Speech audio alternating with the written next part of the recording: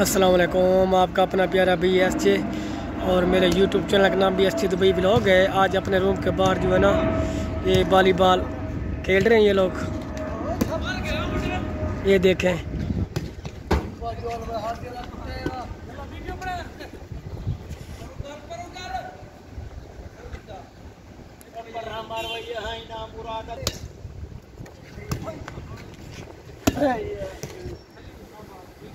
सराके रेला मुंडा बड़े ने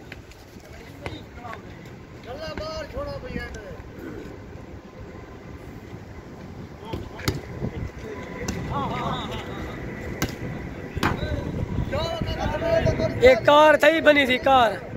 कार थी बनी थी सही मेरे को।